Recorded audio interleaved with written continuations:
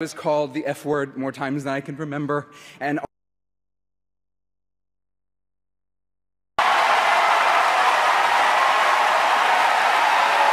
so, so keep raising your voices.